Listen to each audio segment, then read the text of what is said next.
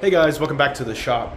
Um, today we are continuing work on the transmission swap. Uh, I did do a little cutting the other day, um, and I wanted to kind of show you guys the progress I've made on that.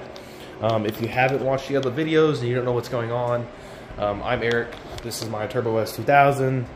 We are doing the CD09 transmission swap in the car. Um, so go back, watch your videos, check those out, get caught up.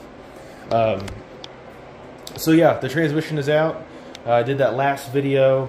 Um, I got under the car a few days ago and started uh, cutting away what needs to come out. Um, so let me show you where we're at on that so you can kind of see. I still got some finessing to do as far as the cutting and then I want to put the plate in. But uh, here we are for now. Gonna get my light over here. This is obviously underneath the car.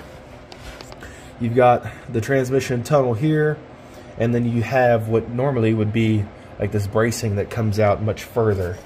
Um, so we've got to get rid of some of that. Uh, again, you can use a big hammer, beat the hell out of it. Me, I just this steel is a lot thicker. Uh, thicker, holy crap! Uh, this steel is a lot thicker than you would assume when you look at it. Uh, for me, anyways, I just thought it's kind of it's hollow, which it is, but I just kind of expected it to be a little thinner. After seeing other people beat theirs in with a hammer, I'm like, oh, that probably won't be too bad. But the freaking metal is actually pretty damn thick, and it's really, really hard. So beating it with a hammer to me would have been very laboring. Just cutting this out was more than what I expected. It didn't cut as fast as I thought it was going to cut. Uh, it wasn't as breezy as I thought it was going to be. Lots of sparks in the face. Holy crap, the light. Uh, lots of sparks in the face. Um, just, yeah. But anyways, the main portion of it is cut. So now I think I want to take, I'm trying to move to where I can see and point and talk. So much. I need a lift. I need a freaking lift. Uh, I want to take this and I think I want to cut it a little up and then take the rest of this out to here because and then I kind of want to do the same with this. So I'm good here. I'm good here. I mean, I'm going to hammer this in, I think, a little bit more just to kind of flatten that lip down. Uh, I want to cut this in a little bit here, I think, uh, and this, and then maybe lap this over. I don't know. I want to do a little more trimming because I want to have more than enough room. If I'm doing this, I'm doing this. You know, I want to have as much room that way uh, when the motor is running and everything's loaded up. I'm not, you know, moving transmissions and banging around and hitting on the sides or bumping on any of this, causing vibrations weird noises. I don't want to hear none of that. If I'm doing the work, let's make it worth it. Um, also, there's a spot up here I think you have to bang in, which even the stock trans has hit it before when pulling it. You can kind of see a spot there. Uh, and then the same thing over here. I'm going to lose this heat shield. Uh, talked to another guy. He said he just took his off. It gives you a little more room here because this actually takes up quite a bit of space here. So I'm going to take that off as well. And then that's pretty much making it ready time or making it uh, making it almost time to start test fitting the trans. Um, call me crazy, but I have not test fitted the trans. I just went ahead and started cutting this out because I already know that has to happen before going through all the trouble of setting the transmission up. So that's what we're doing, guys. Going to cut the rest of this out. Going to kind of finesse it, trim it. Uh, I'm going to get some steel, and I'm going to basically block this in kind of like, I don't know, this, maybe fold this in, fold this in. I don't know. I still have some fab work I want to figure out here and fold, block this in. That way I'm not getting water and crap down in there so it can rust or seize the bolts up. And I don't know. I just feel like that's a better way to do it. Uh, and again, I've never done this before, so I'm going off uh, help from other boosted homies and uh, common sense. So hopefully that works out in my favor um, yeah, let's get after it. Oh, also, I'm going to get the plate out and uh, get it stuck on the back of the motor and then show you what that looks like. I probably need to move my exhaust over a little bit. I feel like it's probably going to touch the plate. But luckily, it's on a V-band because V-band uh, for the win. Love V-bands. And maybe I can like pivot the exhaust a little bit this way to open up a little extra space. And yeah, so let's get to it. All right, guys. So we've been uh, hacking and cutting and trimming. Um, I actually ended up cutting some small steel plates, welding them in, seam sealed, painted and everything. So here is the tunnel. This is the finished product. Um, I'm pretty happy with it. Turned out pretty good. Um, If you see it kind of looks boogery and gross, no, that's not my welds. Sorry, the camera's not picking it up. And I'm laying on my back trying to talk, can't breathe. Uh, yeah, see like it looks boogery. That is not my welds, uh, that is seam sealer. So if you don't know what seam sealer is, they usually use it to fill in like body gaps and stuff on cars for auto body. Uh, I mean, that's basically the same stuff as what all this other stuff is in the car. Like, oops, uh, like here, that'd be seam sealer and stuff. So I got a buddy that does auto body. He hooked me up with the the good uh, factory auto body shop stuff, and yeah, um, plenty of room. Like if you can see here, that's the trans tunnel now. We got tons of room, more than enough space. It's not going to be touching, rubbing, buzzing, making noise. Uh, yeah, I'm happy with it. I'm happy with it.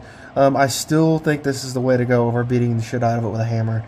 Um, that steel was much thicker than I anticipated being. Uh, the cutting was slower than I thought it was going to be. It just definitely, I think this is the way to go. Um, obviously, chopping up your car is not for everybody, um, but that's the only way you can get this transmission in this car. And yes, they do have other options. Um, I thought about doing the BMW ZF trans swap, but they're not any quieter than the the CD09. Uh, and again, like I said, I just got a, I got a good deal on the kit, uh, second hand, and brand new transmission is available at the dealership, easy to get and pretty affordable in comparison to what brand new transmissions uh, prices are. So I went ahead and bolted up the Inline Pro uh, plate, the adapter plate. Um, it's got three bolts here, at the, or one, two, three there to bolt it to the block, and then it also has bolts down here that will bolt it to the block as well once you put the trans in, it'll run through the plate and pull tight on the bottom of the block. So if you guys have never seen uh, the adapter plate or how it works, this is it. And this is actually, this will do the uh, 350Z trans, the CD09, and the 370 trans, which is the gay, gay tray, JK trans. Um, and also if you're doing this, uh, do not forget your dowels. Uh, take the tran take the dowels out of your transmission, your guide dowels. Um, you got one here, and you got one up here you need to put those back into the block and then put your plate on and have those dowels there so they keep everything lined up and keep it from moving because obviously the bolt holes aren't perfectly machined to fit the bolt so you're gonna have a little play there and just that little bit of movement is I would definitely say not good uh, yeah so my exhaust um, I had full exhaust on this car or I have full exhaust on this car and then I had uh, the I have the full HKS high power single, and it runs all the way back to the back of the car. And then right here in this section, it had a resonator, so it was it was really quiet. Like for a single, it was very quiet. I liked it at first, and now it's kind of like once I put the turbo on it uh, years ago, it really uh, it just got obviously the turbo quiet and the exhaust down even more. So it's not loud. Like you can hear injectors clicking when it's idling. That's how quiet it idles. So I want a little more rowdy, a little more noise, but I don't like open because I've been doing this for a little bit, just open dump pipe while I was waiting to finish this out. And it's fun for a little bit. It's kind of nice to have the noise. Probably be more likable if it was shooting it out the fender or going out the hood. Probably not the hood because I don't want that crap blowing back on me and on the windshield and all over the hood and stuff. But if you did it out the fender or if you did maybe a dump out the side, but just having it right underneath the car, underneath the cabin, I mean, it's pretty damn loud. Uh, so yeah, what I ended up doing was cutting out the resonator, and then I just finished welding this up, and I just welded a pipe in its place. And if you look way over there, let's see, there's the resonator up on my workbench. Uh, yeah, so I cut it out. I'm gonna keep it just in case, but now I'm deleting the resonator, so that should get some some noise in the car, uh, and put it out the back through the HKS tip, but not be stupid loud. But you know, race car stuff, you still hear it. It's gonna be, I think, more fun. Um, so I have V-band exhaust all the way back. And we did, I did this when I did all my turbo setup. So there's a V-band clamp. And then it comes down here, this ugly piping, but whatever, it's exhaust. I don't care, you can't see it. I did went ahead and dented in the exhaust just a little bit right here, just to make sure I had some room. Obviously it's loose now, but it's not, like, it's not gonna touch. Um, I gotta get this bolted up back here, right, and then we'll see. Still under the car, just finished up. The exhaust is on. Yay, all the way out to the tip. Don't look at my welds. Um, I'm not a fab guy. But uh, yeah, full exhaust is on. Nice, and she's solid. no shaking, no banging, no touching. All that is great. So very happy with that. Um, again, everything looks good here. Well, as good as uh, chopped up, beat up, smashed in, gross, boogery. You, you know, as good as a molested transmission tunnel can look.